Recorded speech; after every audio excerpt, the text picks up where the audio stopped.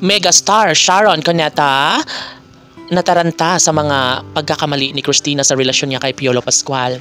Naku po, sobrang mahirap para sa damdamin ni Piolo at Casey kung nais na ibigay ni Christina ang mga magandang desisyon tungo sa kalang pagpapakasal ay maaaring mangyayari nga ito sa mas lalong madaling panahon.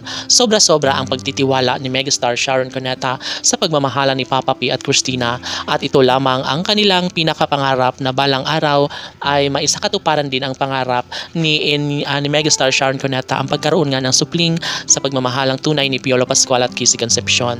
Maliman na umasa ang lahat sa mga pagkakataong ito ay nais rin ni megastar Sharon Cuneta na patutuhanan kung anuman ang magiging wakas sa kanilang pagmamahalan ni Christina at Papa P. Malungkot na isipin ni megastar Sharon Cuneta kung sakali man na tuluyang wakasan ang relasyon ni Papa P at Christina ay sobra man itong hindi katanggap-tanggap sa puso ni megastar Sharon Cuneta at ng kanilang milyon-milyon na mga taga-subaybay.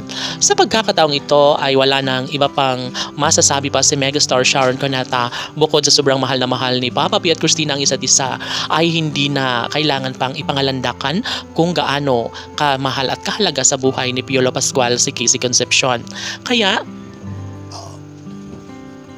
napagtanto ni megastar Sharon Cuneta na sadyang hindi magbabago kung anuman ang kanilang tunay na damdamin sa isa't isa. Maaari na magiging magulo minsan ang kanilang relasyon ngunit nangingibabaw pa rin umano ang isang daang porsyento ng kanilang pagkakatuluyan. Posible nga naman na mangyayari ang lahat at maaari din na wala nang patutunguhan ang kanilang relasyon kung tuluyan na uh, pakawalan ni Piolo Pascual si Casey Concepcion. Of course, ito ang pinaka-the sa lahat. Kung maaari nga ay hindi kailangan ni megastar Sharon Cuneta na talikuran ang lahat dahil nabibigla rin naman si megastar Sharon Cuneta lalong lalo na sa kanilang mga desisyon. Desisyong nakapagbibigay no, kalungkutan sa puso ni Piolo Pascual at Kisi Concepcion. Of course, apektado rin si megastar Sharon Cuneta at ng kanilang milyon-milyon ng mga taga-subaybayan.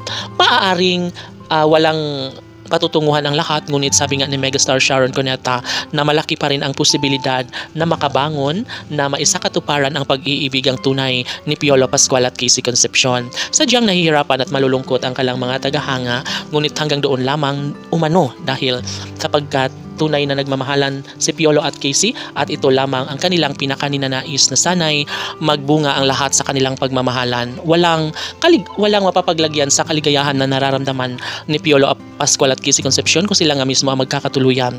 Batid na magiging happy rin ang nag-iisang megastar Sharon Cuneta at ng kalang milyon-milyon ng mga tagahanga na one of these days ay matuloy rin ang kasal na pangarap para kay Papa Piat Christina. Kisi PG Fanatics, laban!